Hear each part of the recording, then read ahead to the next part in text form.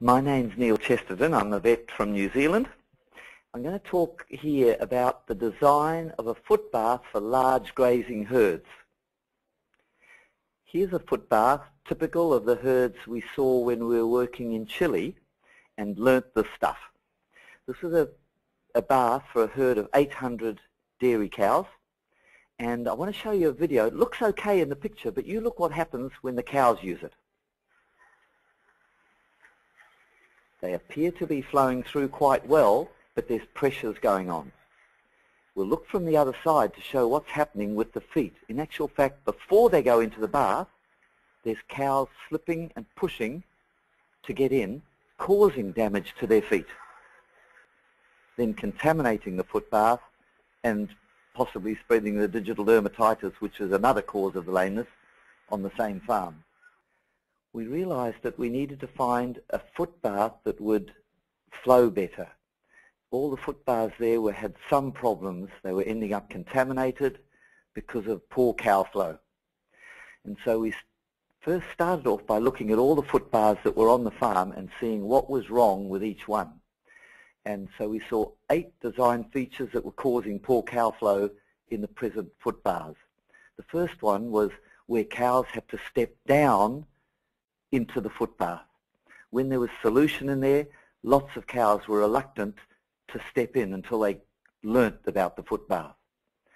The second thing was many were building the footbaths up, like on the photograph on the right, where the footbath was built up, the cows went into it all right, but then before they stepped down, they stopped, holding up all the cows behind them. And of course the footbath became contaminated. The third thing we noticed was slopes or gradients in or out of footbaths. Cows don't like slopes. Many times they slipped on the slope that might have been hidden under the solution or they couldn't, they, they, were, they were frightened by the slipperiness of the slope. Um, sometimes the slipperiness was before the bath or inside the bath and again the cows were afraid and contaminated the bath more. Another thing we noticed, some of them were plastic baths and um, without a carpet or something in the bottom of them, they were frightening to cows. The cows were reluctant to walk in. When they walked in, the noise or movement of the bath caused them also to be afraid and contaminated the bath. The picture on the right there is another common thing that we that was done there was rounding off the edges of the, what we call the nib wall around the foot bath thinking that it would be cow-friendly. In actual fact, cows have great difficulty focusing on where to step when they've got a rounded edge. So the cows would balk at that footbath as well.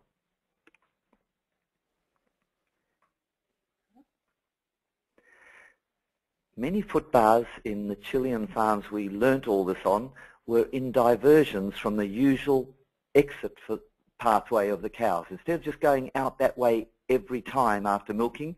On the foot bathing days, they would be diverted like these two foot baths here. It was something strange. They balked to go through it, and again they ended up contaminated. Another common problem with these big herds of cows, you know, 300 cows up to 1,200 cows, was narrow single cow width baths.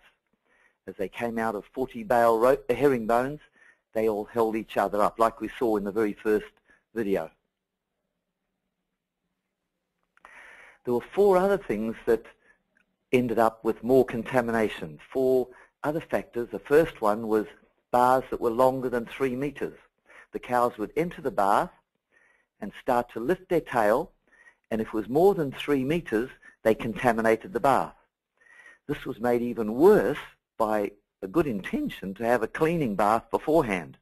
Often at the end of the cleaning bath, they were just lifting their tails and then contaminated the very bath that was meant to have the solution in it. So long bars was one problem. Another one was small volume bars relative to the size of the herd. Small little bars like the one on the right there were contaminated after very few cows had gone through it. We needed bigger bars. Foot baths positioned at the entrance to the cowshed or the entrance to the holding yard or the collecting yard were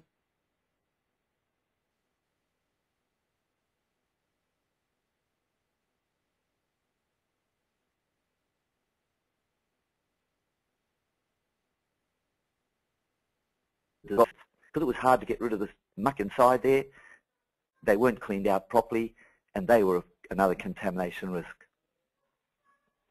So here's the same farm we saw before with the new bath design. Look at the cow flow of a herd of over 800 cows now walking through there without too much concern. Very little fear of the bath. Very little foot damage happening before because they're not fighting to get in there or get out of there. So that ended up with our recommendations. For good cow flow and less contamination, we constructed all the foot baths in the exit race. The footbath is part of the exit race itself, not a diversion when you want a footbath. The footbath must be at least a metre and a half wide. We liked it a bit wider, but sometimes that's how wide the exit was, so we made it a metre and a half. The length mustn't be any shorter than two and a half metres, because if it's too short, one foot only goes in one time. They've got to put at least two feet in it to give it a better chance of getting the solution but also a maximum we found of three meters.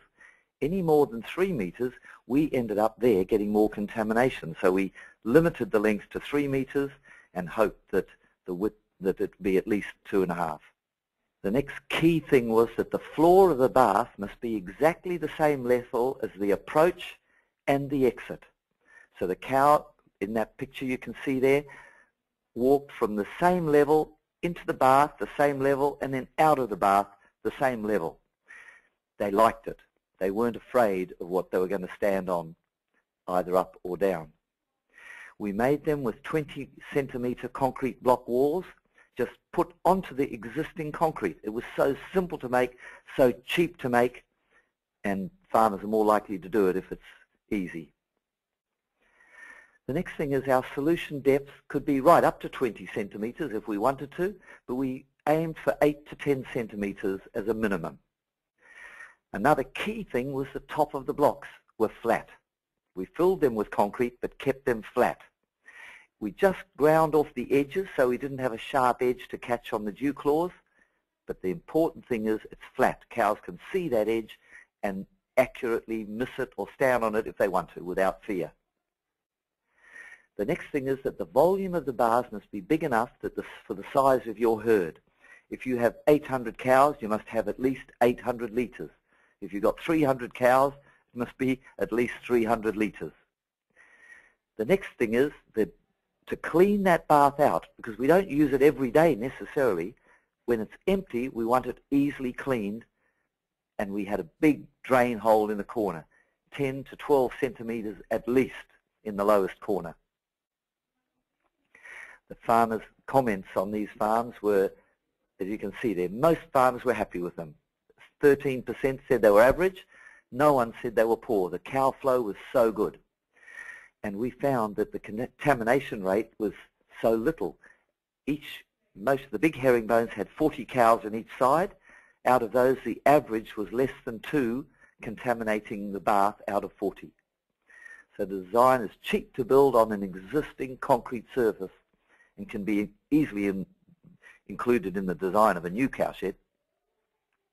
Thank you.